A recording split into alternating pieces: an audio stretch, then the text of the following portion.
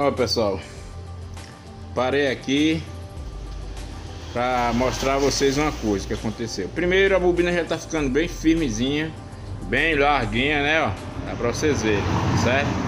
E a outra situação é que o fio simplesmente se partiu. Então não podia deixar de mostrar isso a vocês, porque isso também vai acontecer com vocês, tá certo?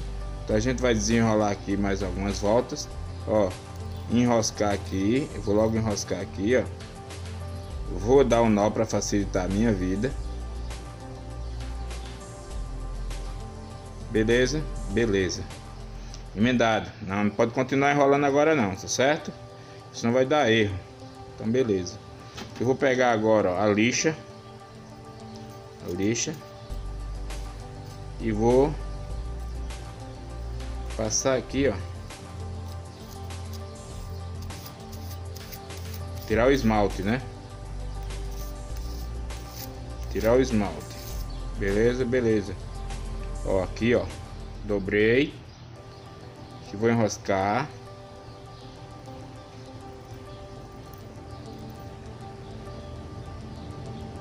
Vou enroscar de novo. Quanto mais enroscar, mais o troço fica seguro, tá certo? Então o que é que a gente vai fazer aqui agora, ó? Já o, nó tá, o negócio já tá firme. Então eu vou aqui, ó, enroscar aqui algumas voltas. Para evitar curto, o que é que eu vou fazer agora? Eu não posso continuar muito sem testar, né? Então vou testar aqui, ó. Deixa eu colocar para cá para vocês verem. Hum. Vou testar agora, saber como é que tá, se, se a emenda foi boa.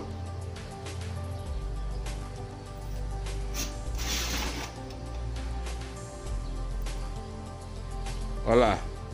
Tá vendo? Tá vendo que, que deu certo?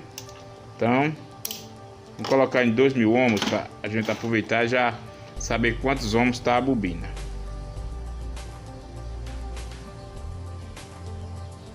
Duzentos setenta e dois, duzentos sessenta e nove, tá vendo aí, ó? Então, vamos continuar, tá certo? Vire que a emenda foi certa. Aí, agora para evitar, olha só, presta atenção, hein? Para evitar que eu passe esse, esse, esse ponto aqui que eu raspei em cima do outro, é, evitando assim um curto, eu tenho duas alternativas. Uma delas é já colocar um pouco de verniz ou cola, não tem problema não, mas o ideal mesmo é verniz, pessoal. Coloca o verniz, tá certo? Um pouco de verniz aí, porque quando você passar o fio já vai isolando. Mas para ajudar no curto aqui, provável, você, ó, tira daqui já vai pro cantinho lá, ó, pro canto, pro canto da bobina, ó. Continua lá no canto, ó. Livrando bem muito daquela parte que a gente raspou para descobrir, para retirou o verniz, certo? Então continua. Agora sim, agora pode vir para cá, sem problema. E lembrando que esse é um fio 37, quando você estiver usando 36, não quebra. O 36 é bom demais de trabalhar, tá certo? Então, vamos continuar aqui.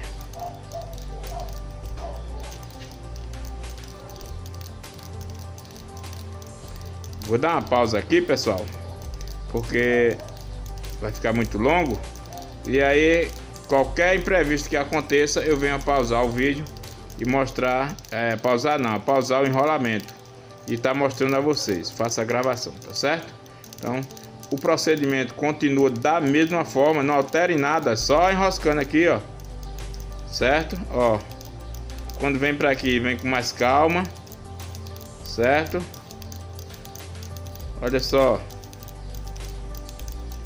E a felicidade é grande quando você coloca na moto que ela funciona belezinha, né? Então, aí ó, tá bom? Então até já.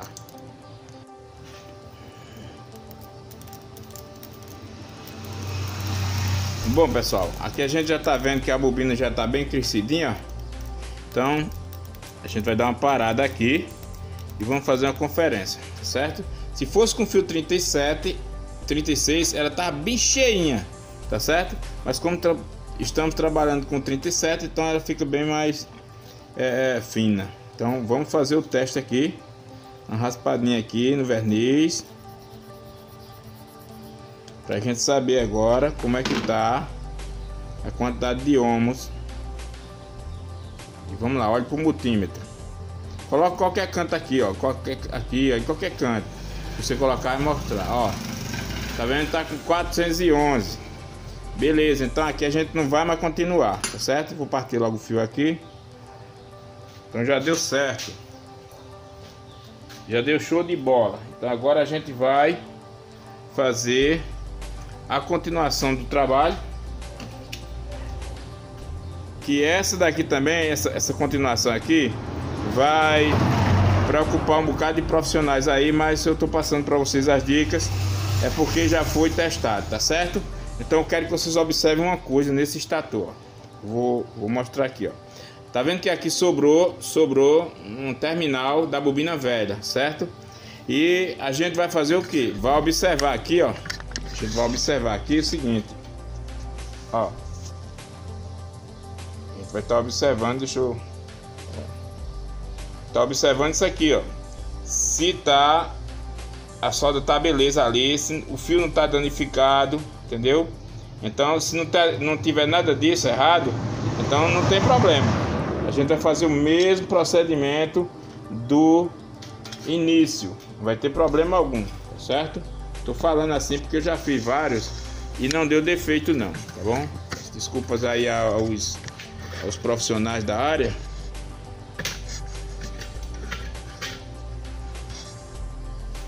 Peço desculpas aí aos profissionais da área, mas eu já fiz assim vários e não deu erro, tá certo? Está bem soldado, não está queimado. O que queimou foi só o interno da bobina, não tem problema. Então vamos fazer o seguinte aqui.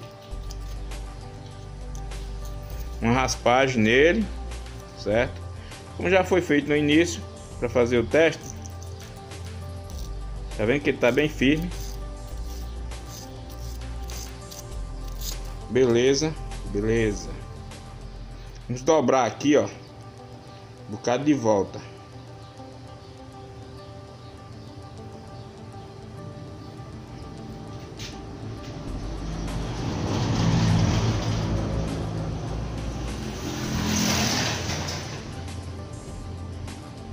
Quatro tá bom.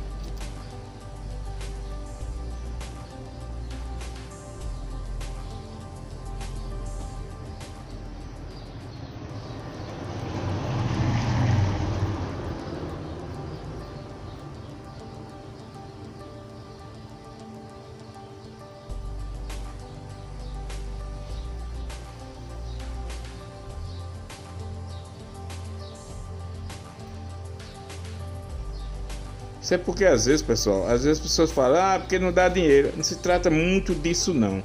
Se trata de às vezes você não tem a bobina aí na sua cidade e você tendo material você refaz, faz a moto voltar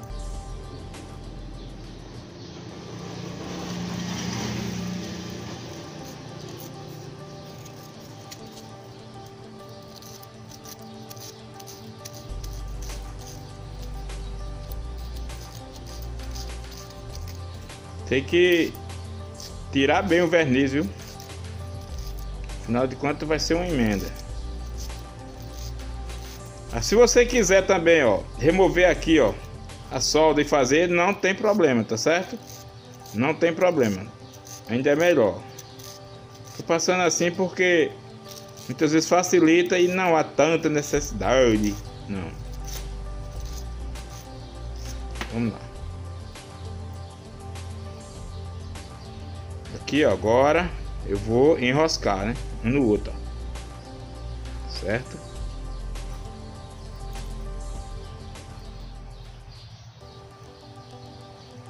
Ó pra onde for, dá pra baixo. Show de bola. Show de bola. Perfeito, perfeito. Pronto. Enroscou, enroscou. Não tem que fazer mais nada aí. Pronto. Só deixa aí. Deixa aí e, e, e vamos à matéria. Não se preocupe com isso aí. O próximo passo aqui próximo passo aqui é é a gente fazer o teste. Vamos fazer o teste. O teste é bom que se faça sempre do fio. Quando conclui aqui é fazer do fio, certo?